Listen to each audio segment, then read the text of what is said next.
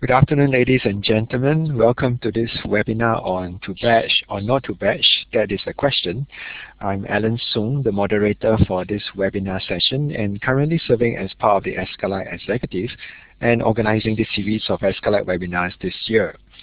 I also like to introduce my fellow ascilite executive who is part of the ascilite webinar team, Mark Northover. This afternoon, we're very glad to have Joyce uh, to facilitate this one-hour webinar on open badges. Joyce has worked in higher education in Australia and New Zealand. She's a learner experience designer, open badges advocate, digital presence coach, and founder of Academic Tribe. With a network of distributed education specialists, she has worked on projects for education and research organizations. Joyce also co-facilitated the Open Badges Australia and New Zealand Community Group. For this afternoon's one-hour webinar, the presenter will be sharing for a number of minutes and thereafter there will be activities for you to work on. If you have any questions during the session, you could post your question in the chat box. During the question and answer session, you can also click onto the hand raising button located on the left right below the image box and I'll give you the right to speak. When speaking, you can click onto the talk button. After speaking, you can release the button. Without further ado, please help me to welcome Joyce. Hello, everyone. Um, uh, and I think I probably know. Oh, thank you for the applause. um, I think I probably know everyone in the room. Hi, everyone. And I've probably talked about badges with several of you. Um, so um, I actually went through the trouble of doing my makeup for today and then realized that I wasn't going to be using the video. So anyway, you will all know that I actually made the effort. Um, so thanks, Alan, for that kind introduction, and, and thanks to you and Mark and ascilite for asking me to, to talk about this today. Um, you're absolutely right. Um, my presentation, the presentation part of today, is really aimed at just making sure that we're all talking the same language, that we're all that we've all got a common understanding of badges, and also to highlight some examples, but not really go into them specifically, to highlight some examples of badge use in higher education. And then after that, I would like to have an open discussion because in no way, shape, or form am I saying that I am the uh, end-all be-all expert on badges. I think it is a very new um, uh, concept in teaching and learning in education institutions, and I think it's something that everybody is, is feeling their way through. And with Academic Tribe, we're doing some work with clients who are not in education, who are in training and development, and it's the same story there. So, um, so I'm really keen for the conversation part. So in order to make sure that I stay on track, um, I'm just going to set a timer for myself so that I don't keep talking about badges without ever getting to talk to you. So I just want to make sure that I don't do that. Um, okay, so um, uh, to badge or not to badge, that is the question. And uh, so like I said, I'm going to try to get us all kind of on the same page. But uh, before that, what I would like you to do is just do a short little activity with me. Um, and what I'd like you to do is to uh, sketch a badge uh, for yourself, just like in a minute, you know, on a piece of note paper or a post-it that you've got in front of you. I'd like you to sketch a badge for a skill that you've learned in the last six months something that you taught yourself or that you that you learned somewhere else and that you would have liked to have received a badge for. And um, uh, if you're on Twitter, then it would be really nice if you could share it there and tweet it with uh, with the hashtag ascilite. So um, so you've all got uh, a minute to just sketch a badge of your own, and then hopefully I'll see them pop up in my TweetDeck um, as they get shared. So anything that you've learned in the last six months that you would have liked to have been uh, awarded a badge for, but didn't.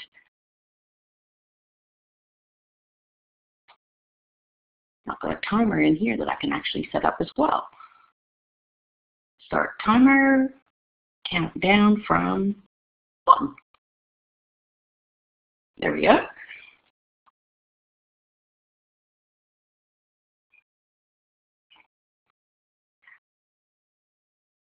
So in my case, it would probably be, what have I learned lately that I would have liked to have gotten a, a badge for?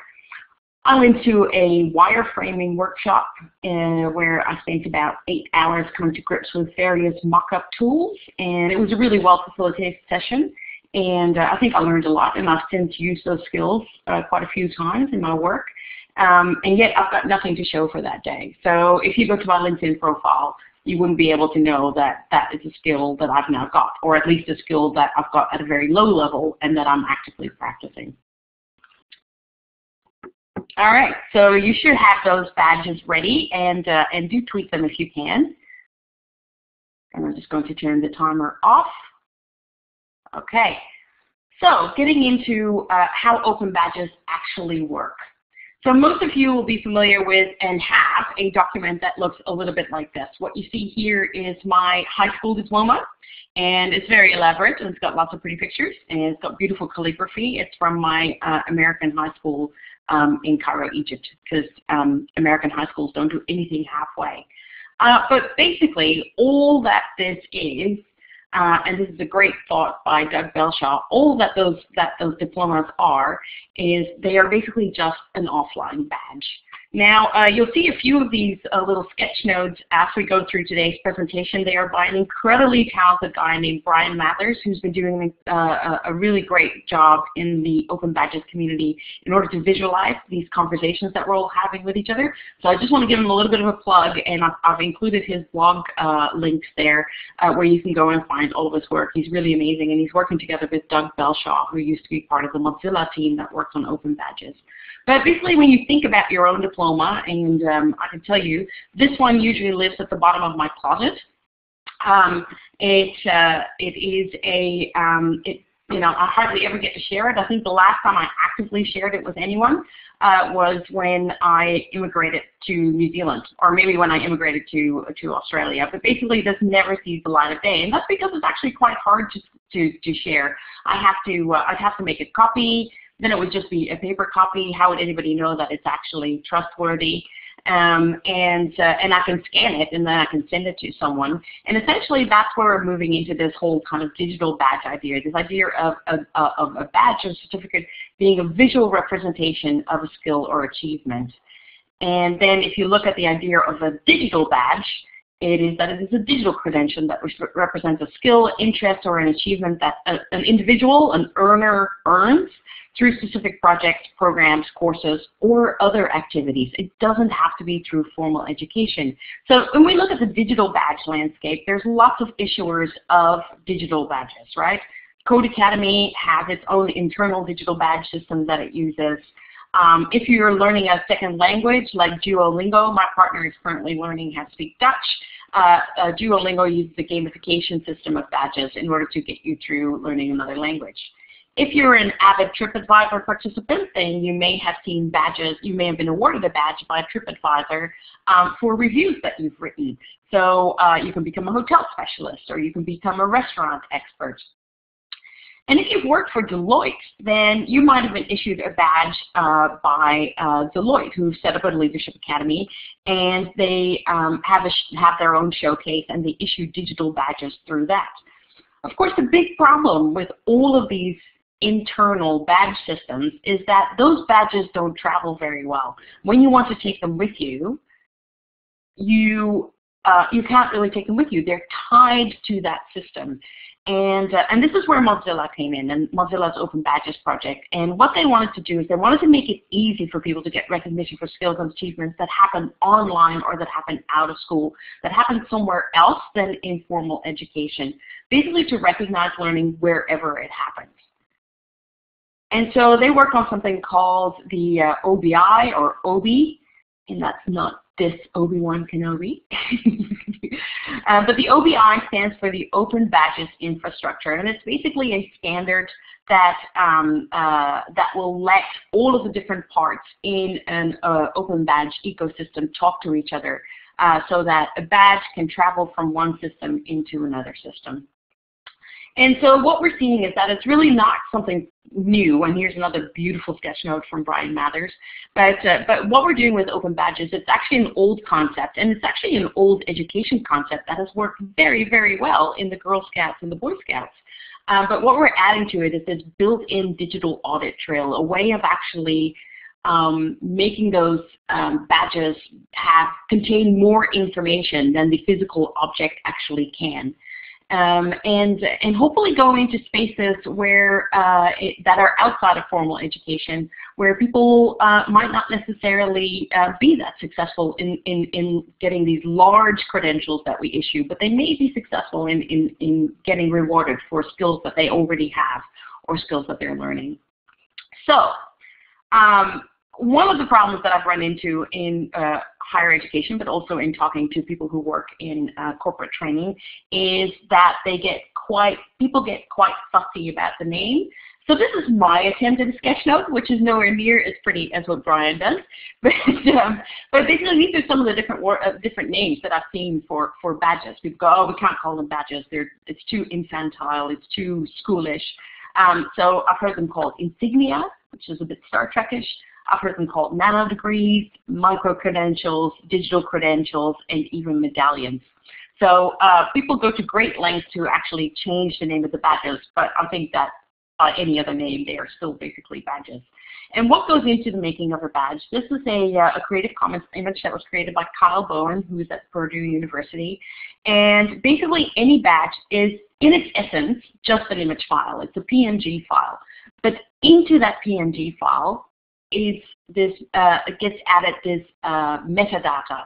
And, and the process of actually putting that metadata into the file is called baking a badge right? So you've got, uh, so some of the metadata that gets added to the badge at that point are things like the badge name, the description, the criteria, what did the earner have to do in order to earn that badge, the issuer, who is the issuing organization or person, and then it's also possible to add a link to the evidence that shows that that earner actually met the criteria. So this is where you can start to see a really strong correlation between portfolios and badges. Um, it can also contain the date issued, and then it works together with all of these standards. Okay, now you may already have some badge powers because um, uh, several of the learning management systems actually shifted over about two years ago. I think it was 2013. Moodle was the first. You know, I still have a warm heart for Moodle. Moodle was the first, but um, oh, actually no, I should say Totara was the first, but I don't work with Totara. Uh, but to, uh, uh, but that was then uh, translated into Moodle, and Blackboard and Canvas also have badge powers, and so. Uh, it depends, of course, whether your administrator has actually turned that on or not, because in some cases, the way that uh, people get badge powers inside the LMS is not very discriminate, and institutions do get worried about people just awarding I don't know, University of Melbourne badges willy-nilly. So, uh, which is totally understandable. So, but you, your LMS may already be able to, um, to, to issue badges. But there are other options as well for issuing badges. Uh, there's BadgeOS, uh, which is a, a plugin to WordPress. And that also works closely together with Credly. Credly is probably, I would say, the largest um, issuer at the moment. Uh, it is a, you can just go to www.credly.com and you could be issuing a badge like in the next five minutes. Um, and some other issue, issuing platforms, uh, BadgeList has recently come on the market. They focus specifically on um, education and training. So um, if that's the kind of thing that you're looking at, um, that might be something that you want to look at. Um, and uh, there is BadgeKit, which was actually created by the Mozilla team, but I believe that at the moment it is not under active development, and that might be just because uh, commercial um, entities have kind of bypassed it. Um, and then one of the other things that has come out of that, um, of, out of the success really of the Mozilla team that worked on the open badges is that most of that team have now moved into an entity called the Badge Alliance. And you can find all about the Badge Alliance at badgealliance.org. And um, uh, this is where they support working groups and support people in setting up new badge projects, but also into doing research, research into open badges and um, how they can change um, whole industries. So um, they've got working groups that they support, and so if you're interested in doing more work on badges, Badge Alliance will be the place to start. And, uh, and other good news for Open Badges is that earlier this year, in April, it was announced that the IMS Global Learning Consortium has decided that they are going to endorse the Open Badge Infrastructure Standard. Uh, so that's a really big push and uh, in terms of getting recognition for that standard. Okay, so how do they work in practice, right? Like, so what actually happens with these badges? Um, well, basically, you've got four stakeholders in uh, in the Open Badge ecosystem. You have the earner, this is the person who earns the badge. You have the issuer, uh, so, uh, who is the issuing organization or person that issues. Um, you have the displayer. The displayer is uh, the stakeholder who agrees to uh, display badges on their platform. So for instance, LinkedIn would be a displayer, or a blogging platform like WordPress would be a displayer. And uh, you've got an, uh, the audience. This is the people who would actually be looking at badges. And so these can be employers, uh, they can be potential collaborators. For instance, a very interesting thing that just came across my feed uh, the other day is um, uh, this uh, research journal, which has decided that they're going to issue open badges to authors and reviewers for, um, for participating in the editing process of their journal. So, um, so you know, there are, so who would be the audience for that? Well, the audience for that would be other people who might want to collaborate with that person. So um, the way it works is that basically you can once there's an, a mature ecosystem, is that you could earn badges in lots of different places, right? So you can get it for on-the-job training, you can get it for online learning, uh, you can get it through a volunteer program. You collect all of those badges, and then they go into a badge backpack. And uh, the badge backpack, well, Mozilla has set one up called the uh, called the Open Badge Backpack. Actually, this is not that. This is the backpack that you get given in Credly because the backpack is a what they call a federated technology. So you can actually move your badges from different backpacks. Um, of course, the best practice is for you to just create one yourself. Uh, create one and, and, and make that your main backpack and collect all of your badges into one backpack. Um, another example, uh, one that's actually just come uh, come up and, and, has recently been developed, is uh, Open Badge Passport, which is created by the guys from Open Badge Factory up in Finland. And um, that is proving to be, um, I've, I've had a little bit of play with it. It's quite user-friendly, and it also does nice things in terms of rendering the, the badges and, and, and importing them from other places. So, so if you're looking for where you're going to keep your uh, badge, uh, your badges, Open Badge Passport is, is I think, a, perhaps a little bit more user-friendly than the Mozilla Open Backpack. Once the badges are in your backpack, you are then able to send them to these displayer type sites.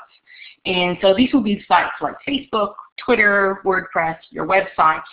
And from there, there will be then be other people who are your audience, and they will be able to uh, view those badges um, and that can lead to job opportunities. Uh, you know, it gives you a map of your lifelong learning. It shows you, you know, where you've gone, and by looking at other badges, you can actually start to see like which directions you might want to go in as well. So they kind of act like like markers you know, behind you, but they also act like way markers as something to, that you can set out for, you know, and uh, and and people um, can unlock new possibilities by saying, I actually did this course and I got this badge, or I got a MOOC and I got a badge. And so, um, so basically, is that you can give credit where credit is due, and uh, and and you know they look very different. People can issue badges through lots of different platforms. These are all uh, Credly Credly ones, but they're given by different organizations.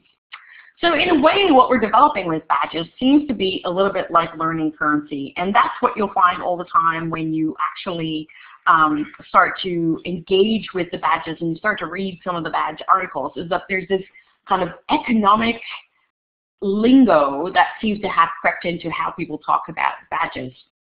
Um, and I think there are similarities. On, on the one hand, um, you know, badges depend on trust. So um, they, it is the trust between the earner and the issuing organization, and also the trust between the audience and the issuing organization. You know, they create the value of, of the badge, and that's similar to how we think about our currency. You know, we depend, we believe that this piece of paper is worth X, because we have faith in the issuing organization. And uh, it also depends on the criteria and the evidence. This whole idea of trust and evidence in, in badges is, is something that gets quite complicated and there are lots of different parts to it. Uh, but, but basically the value, one of the, one of the things that determines the value of the badge is how well the criteria for the badge were put together and how well the evidence is presented and shared as well.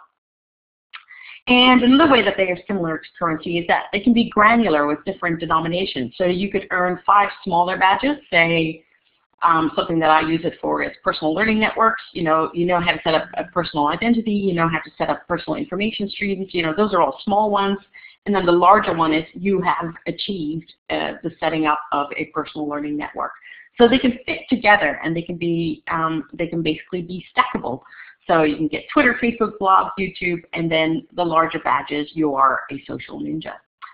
So, um, so a badge's worth is, as I said, quite complicated. You know, there is the issuer value, um, you know, who, who actually issued it. Uh, there is the meaning value, what do we actually think that badge stands for. Then there is um, this new thing which technologically is still quite difficult to do, but this idea of um, institutions endorsing each other's um, endorsing each other's badges. So for instance, say that ascilite said, as part of our PD, we're going to start issuing people with badges. Then um, member institutions could say, we're going to endorse those ascilite badges. Now, obviously, this is a wonderful idea uh, philosophically, but but how that would work technically is still a little ways away. Um, and then also the, the, the journey, uh, the, the value of the journey that you had to do, the work that you had to do, the actual learning journey that the earner had in order to get to that point where they were ready to submit their evidence. So so the worth of a badge can be different different things. And when you have a conversation with people about badges and the value of badges, I think it's important to get where they're actually coming from when they when they say something like, "Oh, badges are just you know stickers," or "Badges are are um, you know what's a badge really worth?" Um, there are lots of different facets to that. Um, so one of the things to do is to really focus then on the badge design. And uh, I won't go into this, but I do just want to share it with you. Um, uh, if we went into it, we would be spending too long on it.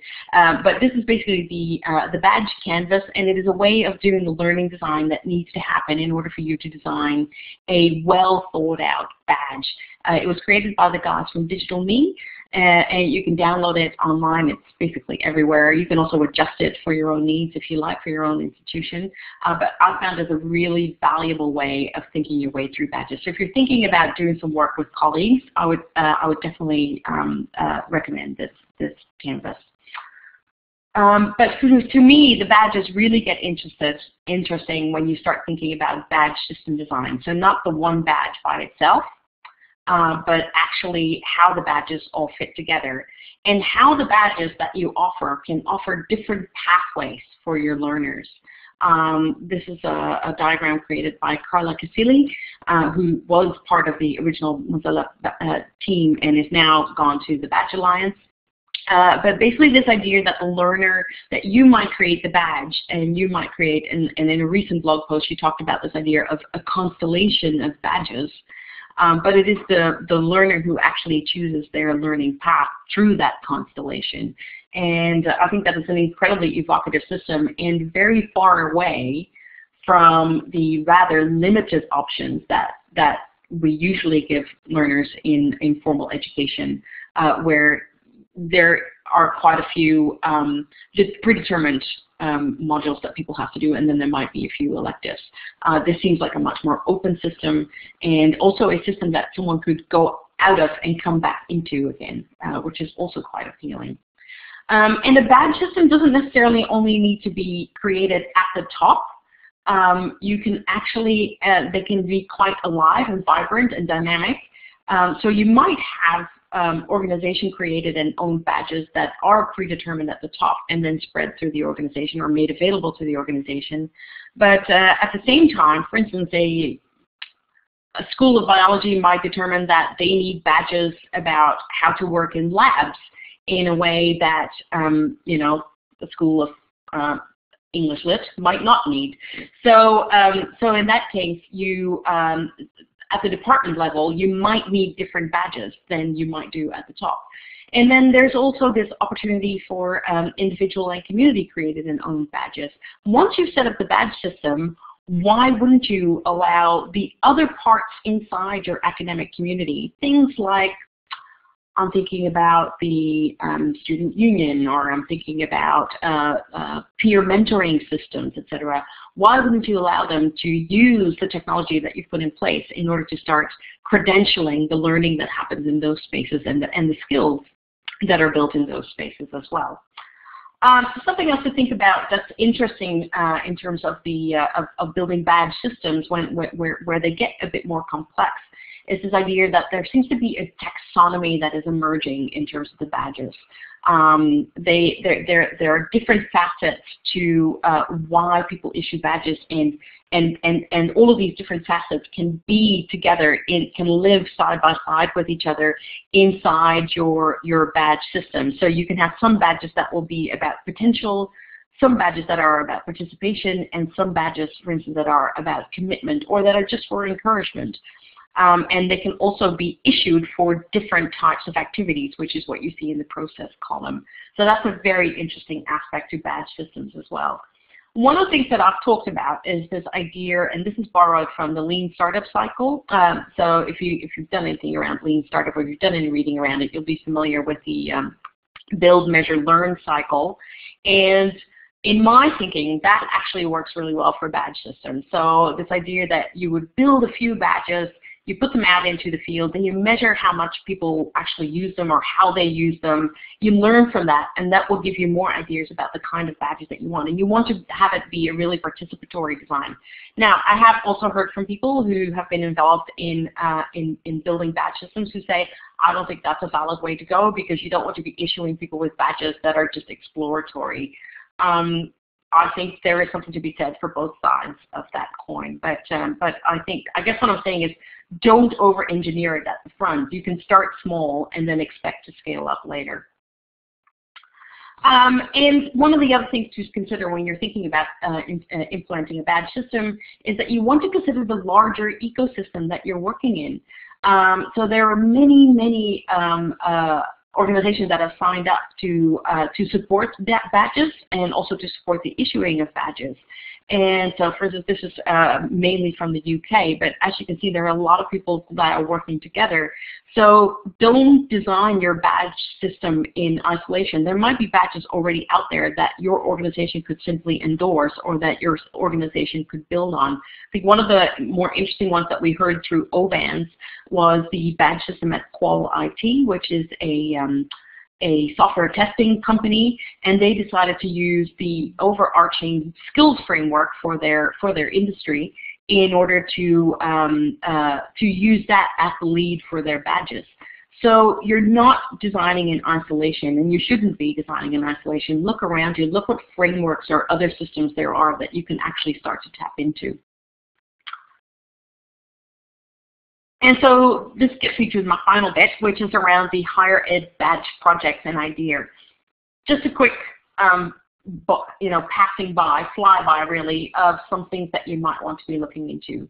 Uh, the most well-known example of badges at a university um, uh, at a university level is uh, Purdue University, who were very early um, uh, in the game here. They rolled this out. I know that they were presenting on it at a big conference in uh, 2012, and by that time it was already very mature. So this is Purdue University, and they've called their badge system Passport. And if you go online, you'll be able to find lots of information about this. They've got an iPad app. It all looks very slick. They've obviously got very good design. And um, basically, any instructor can sign up to start issuing badges for their course. Um, here in Australia, we've got the Australian National University. This is my friend uh, Dr. Inger Mewburn, who's Director of Research Training there, and she ran a test project to look at um, issuing badges to students for research skills. And uh, she's kept an open blog. You can read up about that. But it was certainly a project that was very fraught um, uh, with difficulty just in terms of the process of adding this very new thing into the technological setup that was on campus. um, it there was just an incredible amount of red tape, and uh, and Katie Freund has uh, uh, presented on this uh, most recently at uh, Moodle Moot here in Australia, and uh, it is quite amazing just how many people go into and have to give permission in order to roll out something like badges. So I suppose there's some lessons in there in that in that if you're going to try to roll something like this out, um, be prepared to be in it for the long haul.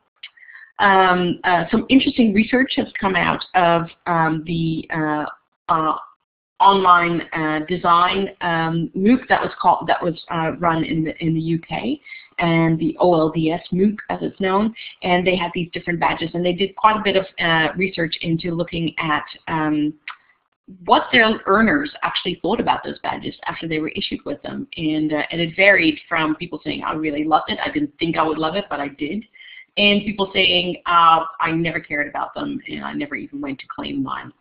Um, so there's some really interesting uh, data coming from there. And then there's some very interesting projects happening um, here in Australia. Uh, this is by Deakin, who have set up a separate entity called Deakin Digital. And these are open credentialing services that still use the OBI standard, uh, but you'll note that they call them credentials. And basically their idea is to issue credentials to anybody who wants them that are aligned with the university's graduate learning outcomes, but also with the Australian qualifications framework and industry skill frameworks. So they're setting themselves up to start to offer people recognition for learning that they did elsewhere, and that recognition can then lead to you moving into a pathway that will move you in the direction of Deakin. So, uh, so that's a very interesting development.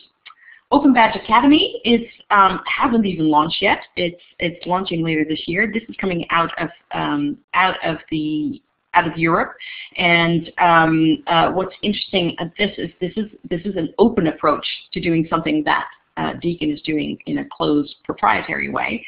Uh, but this is an open approach um, in order to enable people to start issuing badges at an academic level. And Open Badge Exchange is really interesting as well because Open Badge Exchange is a place where people can go and submit badges that they've earned elsewhere that were perhaps by less esteemed uh, badge issuers. And you can go there and try to exchange them for more advanced badges. Uh, so maybe you got a, um, oh, we just had the Red Moon. Uh, maybe you got a, a, a, badge issued by your local um, astronomy club and now you decide that you will want to go online and you've actually got a whole bunch of badges and you might want to exchange them for a badge from NASA. So that's where that's aiming at and again it's quite immature.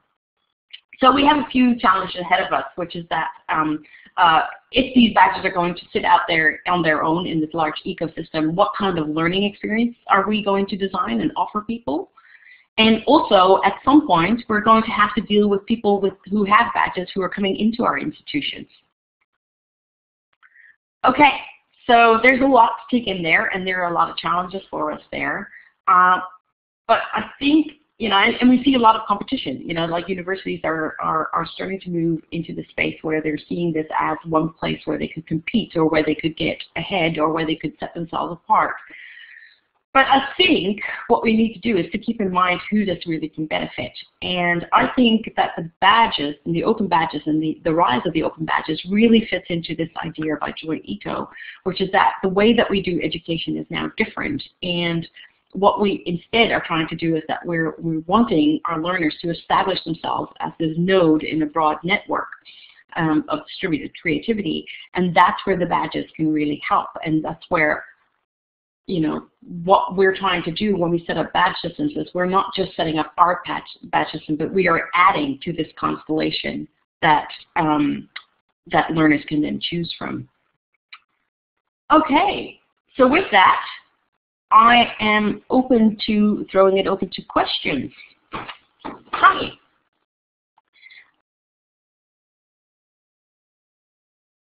Now, um, Alan, are you happy for me to uh, to lead the next part as well? Because my thinking was that what we would do is do a um, thinking hats conversation, and uh, this is my uh, this is my facilitator. Um, okay, thanks, Mark. Um, this is my facilitator background coming back to haunt me. Um, but because uh, what I find is that when I do workshops on open badges, uh, people come from all sorts of sides um, uh, in order to kind of talk about badges, and and people, and some people immediately go to the visual design, some people immediately go to um, to how difficult it would be to implement technologically, etc. So I thought rather than just kind of throwing it out into the open, we might actually do it hat by hat and, um, and I thought that what would be interesting is um, if we started with uh, the white hat. So put your white hats on and um, think about um, you know, what I've just told you and what are some other facts or information that you have that you would like to share with us or what are some other facts or information that, that you would be after in order to, uh, to know more about badges. And I'm happy to either take talk, uh, take questions in the um, in the chat window, or um, also you can. Um, Alan will probably give you um, talking rights. Thanks very much, Joyce. Okay, um, anyone would like to uh, ask a question? You could be in the chat box, or uh, you can just put up your hand, and we'll give you the right to speak.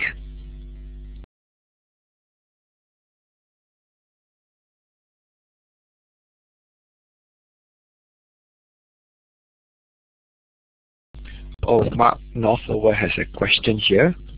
Uh, it's in the chat box. Okay, so um, so your question there, Mark, is a very slow uptake. What is it that triggers people? It's a problem. It's a bit of a black hat question, really, but okay, I'll take it. um, uh, well, so if I stick to the data and the facts, uh, what we see actually is that there's quite a bit of uptake um, in uh, in the states um, uh, again, probably not at university level, but the Badge Alliance and Mozilla have done uh, a lot of work on the Cities of Learning project. Uh, they've now got 11 Cities of Learning online. And um, these are projects that take a city-by-city approach. And what they do is they start to recognize people, um, and I think I've got a, um, I think I've got a link for it here. Yes, I do. There we go. Uh, they've got cities of learning approach, and so they work with, with cities in order to, um, to give after-school education programs, holiday education programs, um, other types of hobbies, maker spaces, etc., to give them the ability to start issuing credentials. So basically these cities of learning projects actually set up the technology, set up the training, and provide training in badge design and learning design as well. Uh, but what they're doing is they're not setting up new educational programs. Rather, they are giving existing informal education programs the ability to start issuing badges. And like I said, they start, it started with Chicago City, uh, City of Learning, but now they've actually expanded to 11 other cities. And so there's quite a bit of uptake. And these aren't small cities. We're talking like LA and Boston. You know, so it's quite big. Uh, and uh, and so we're just not seeing that here. I, I did make a throw at it um, last year at uh, Melbourne Knowledge City, and I actually even went to talk to the people at City of Melbourne. Um, but it would take some political uh, people to get on board with it, and I think I would also need to have like a university on board in order to uh, to kind of support that kind of a program. So um, so it's interesting. So so there is slow uptake here. Um, and maybe it's because we're in a bit more of a competitive thing, uh, in a competitive um, ecosystem, I'm not sure.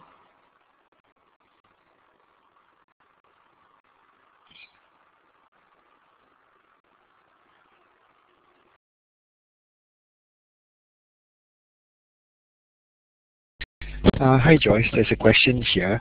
Um, what would you advise, what is your advice would be uh, for any departments or small institutions um, who are keen to embark on this but they are not sure how to start? Uh, just, just any uh, uh thoughts about that? Thanks. Yeah, sure, Alan. Um, if you're a small institution and you're not sure where to start, well, we're actually working with a small institution right now. Um, and um, really the way to go forward is simply um, is to talk to people who've done it before. So um, get set up and, and get talking to people who've done it before. Um, but also what you'll find is that it is something that you just have to start working on. It's not something where you're going to find, and that's where my where I think that that my thoughts with the with the lean startup cycle came from, uh, which is that you're not going to get it right straight away. Um, but and what what for instance we're doing with our system is we're using Credly, which is a which is a very usable uh, uh, user friendly system, and it's not very expensive um, for an organization to sign on. It's about $450 a year. Um, so if you're issuing badges to like you know 500 learners, that's not a lot. And um, um, we're using we're using so we're using a very user friendly system. And uh, and what we're doing is we're uh, we're doing some testing. Uh, we're doing um, uh, user testing. We're, we're not rolling the whole thing out to everyone straight away. We've approached people by invitation and said look we're trying to streamline this process. Would you try claiming these badges for us please? And this is for work that you've already done so we're now just adding a service for you. And, uh, and, and, and that looks like it's going to go really well. And it's going to give us some data in order to, to see how people, uh, what people think. I think very important is that you, that you don't design in isolation. So that participatory design is very important. Talk to your stakeholders and see what people think. Thanks very much, Joyce. Okay, so um, so red hats then, uh, we're on to feelings. Um, you know, what's people's gut instinct about this and their intuition? You know, are you excited? How, how, how do badges make you feel? And uh, feel free to just start popping it into the chat window over there.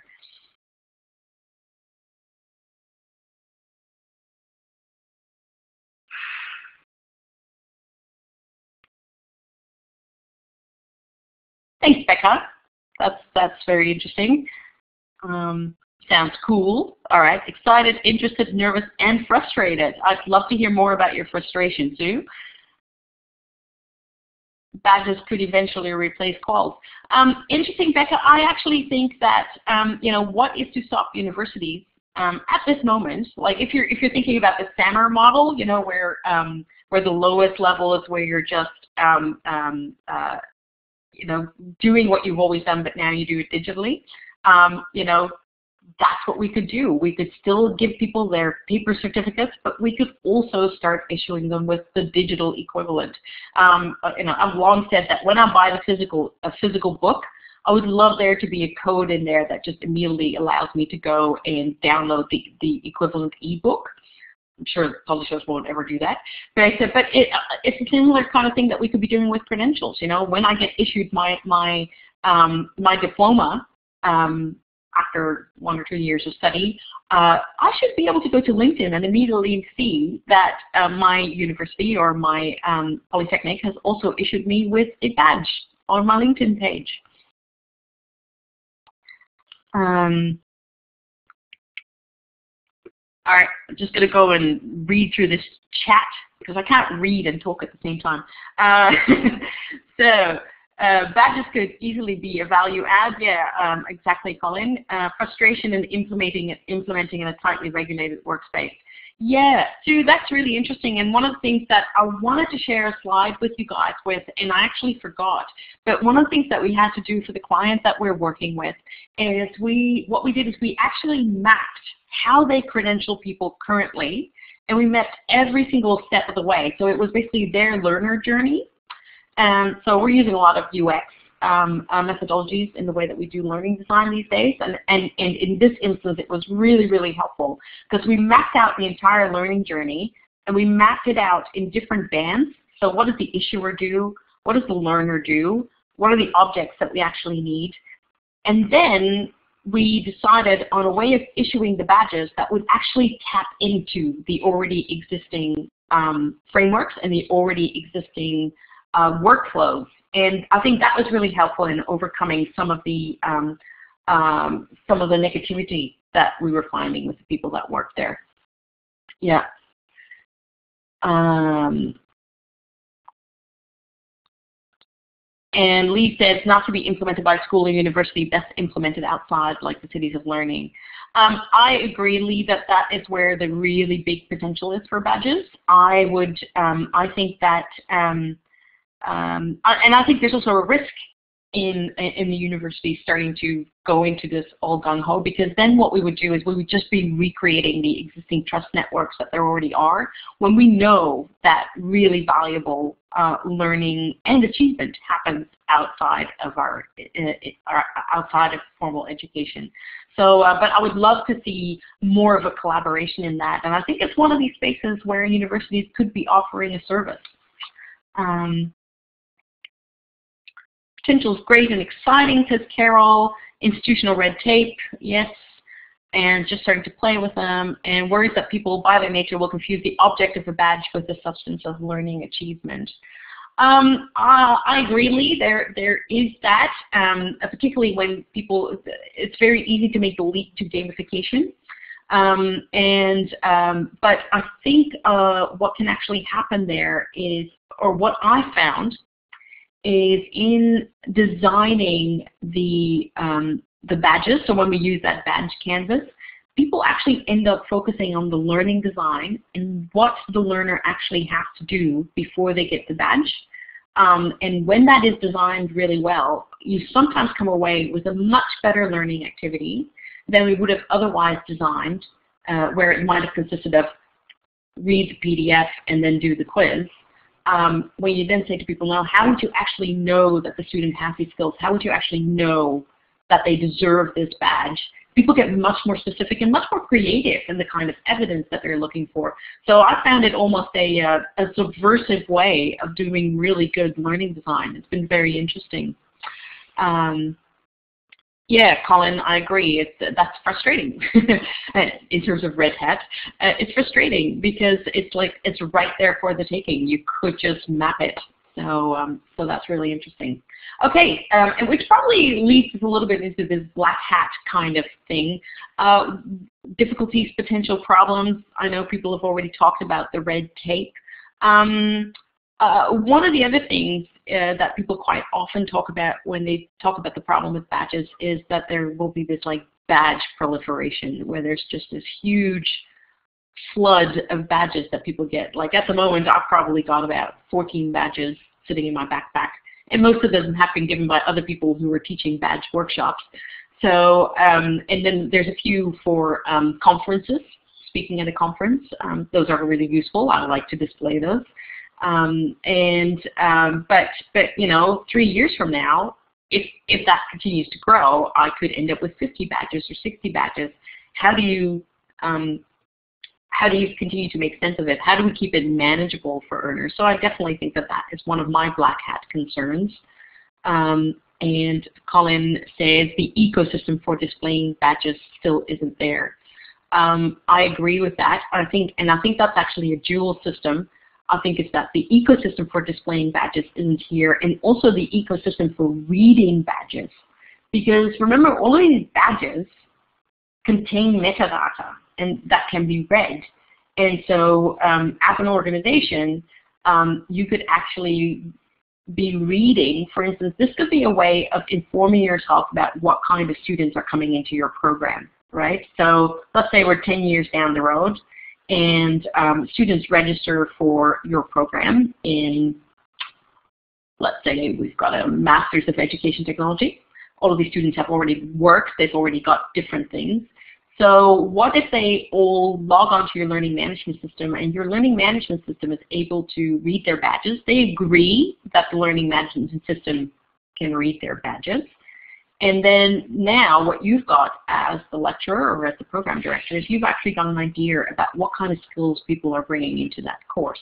And that can determine how you're going to teach that program as well. So I think there's some really interesting possibilities there in terms of the data, but currently those systems aren't there yet. Um, and a collection system that can join multiple IDs for students, i.e. their university one and their personal ones. Um, yeah, in some ways the, the backpacks tend to do that, Mark, because um, usually the, the, the, unique identifier for the earners is their email addresses, and most backpacks uh, will let you add different email addresses to the backpack. Um, uh, so, um, so you can then collect, you know, badges that have been issued to you in your different persona. You know, as Joyce at academic tribe, I tend to get different um, uh, badges sent to me from conferences, etc., than I do as nz.catspajama. Um, so, um, but I can add both of those emails to my backpack, and and and and badges sent to both emails can be displayed there or can be important there. Um, but uh, but that's certainly you see that's something that at the moment is still quite like you need to be quite persistent about badge use in order to set that up, and you need to be quite savvy. You, need to have quite a high level of badge literacy in order to be able to do that. And um, and that's just um, and it's and it's not that easy yet, you know. So so you'd have to be thinking about that. And I think anyone who would be less persistent, not that interested, might drift away. So it's really something that's very much for us who are at the early stages of the adoption curve. All right. Um, Yellow hat, benefits. People, what do you think are some of the values and benefits? And I would love to hear some of you actually hear your voices. We can give you the microphone. It doesn't have to be me talking all the time. Anyone want to put their hand up?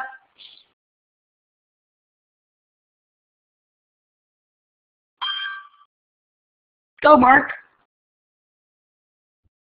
Hi, Joyce. Thanks. I think this has been great so far, really comprehensive and really interesting. I was just going to, um, I'm not sure if it's under benefits, but say that we have had one, really only one lecturer in our at AUT that's taken up badges within their um, uh, course, and they've used it comprehensively more as an internal accreditation micro-credentialing system than having any intention really for it to be an open badge. Um, and they've used it comprehensively through the course just to um, track students achieving certain levels of um, capability. So I don't know if you've got experience or, or know anything um, about benefits of using badges as an internal system without really thinking of them as an open system. Um, yeah, I think, look, in terms of this kind of gamification, um, um, in terms of using them as gamification, so like a point system um, or a collection system that you do uh, inside your course design, I think there's absolutely spaces for them. But the question then is, um, do you want all of those badges to be exported? You know, and maybe by default they are exportable, um, but they you know, the, the students should be made aware that there's a difference between those little intermediate badges and the larger badge that they would get at the end of a course, for instance, because um, if we clutter the system too much with those badges, it can get really hard to see the trees for the forest, I think. But um, but I think um, uh, but I think that's um, um, I think that um, that there's definitely something to be said for that, and I know that at Michigan State University, uh, I heard someone present who uh, who was talking about how they used it, and this this lecturer always taught uh, his course in a way that there were many many more activities than the students actually had to pass. And students always participated really well. It was a journalism course. Students were highly motivated. And um, uh, but when he added badges to it as just something you could collect, um, out of the, uh, all of a sudden, out of like the 19 activities that there were, which for just a summer course, um, students ended up like most of the students ended up doing 80% of them or more when the the, the necessary um, uh, limit was something like 60% or something. So so it's quite interesting. People can get, and I think this is what Lee's getting at as well with that whole idea of you know people starting to get badges just for the sake of badges um, and starting to get more focus on the object than actual on the journey to get there. Um, but um, yeah, I think I, I, think they can work. They work motivationally for some people, and, and, I think, like I said, for some for some people, and I think this is what Colin, where Colin's um, uh, comment goes to as well, which is um, this idea of searchable badges. For some people, they act as way markers. You know, what if there was something say a Spotify-like system where you could go in and um, you could look for badges and, and, and it would read which badges you've already got and then it would say, here are five other badges that you might want to strike out for. And so for me, as an experienced learning designer, it might say, we see that you've got some interest in UX. You might want to go for this wireframing badge next. You know, so um, I think I think that that would be a really Like that's the kind of system that I would be looking for. And I think it's the kind of system that we're heading towards, but, um, but it might be some way away. But that's me being the eternal optimist. I'm sure Lee would have different things to say about that. Um, Colin says, I'd like to be able to search for people that hold a particular badge. Yeah, and I think this is where we're going to see the real payoff in terms of corporate training and how corporates will be using these systems for sure, for sure, yeah. Sorry, Stu, we'll miss you, see you. Um, okay, so um, I realize that we've only got a few more minutes, so I will just quickly go through our last two hacks. Uh, process of managing the kind of thinking process, focus, what are the next steps, what are action plans. Um, well, one of the action plans that I've got that I've got for all of you is that um, eh, I will just copy and paste. Is that you can go to credly.com and I'll just um, go there. Um, you get a badge. Uh, you can go to credly.com and you can go and earn a badge and this is your claim code. Now, are you going to let me paste? It's not going to let me paste, so I'm just going to have to type it in there. Um, E3F. Hey, why is this not letting me write? All right, I'm going to type it in the chat window.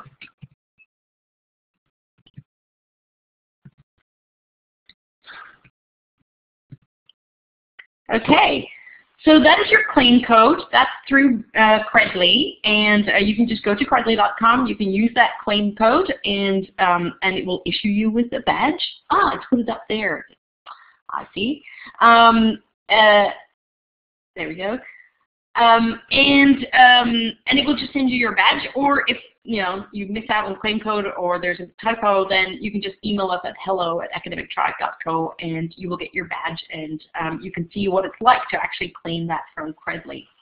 Um, so that can be one of your next steps. Um, and the other is, you know, I'm always happy to, to do like workshops or to talk or even just to chat to people about badges. Um, we also run the Open Badges Australia and New Zealand community group. Uh, these are these are groups that have kind of sprung up around the world, although we might have been the first. um, but they're uh, they're basically just user groups of people that talk together, and we and because I've got an affiliation both in New Zealand and Australia, I decided that I would throw them together because I also think there's a lot that we can learn uh, from each other across the ditch. Um, last year we were running uh, we were running webinars like every two weeks. It got to be a little bit too much. But uh, Becca, who's here today, has agreed to come on board and, and, and possibly help us out with doing some facilitation. So we're going to have a few changes in how we run OBANZ, but, uh, but we aim to be back pretty soon. So you can follow us at, um, on Twitter uh, at OBANZ. Um, and you can also find us on Google Plus and YouTube and review, um, you can review all of the recordings of the sessions that we did last year. Alrighty, and then um, just a very final one, which is to think to, and we probably won't have time to do anything with this, but I would really like you to start thinking about the creative possibilities in badges and see places that you can actually start to use them and how they can spark new ideas. And, uh, you know, I've been using those sketch notes by, uh, by Bryan Mathers uh, but it really pays to go to his site and uh, because they, they capture in such a wonderful way the possibility that is actually inherent in the open badges. Um, so with that, I encourage you to go and uh, claim your slides and to stay connected with us and to stay connected with ascilite. And thanks Mark and Alan for setting this up today. It's been really good. Wow. Thank you so much, Joyce, uh, for the particular informative one-hour webinar. Um, we have come to the end of this session, and on behalf of ascilite and everyone, thanks again, Joyce, for sharing with us.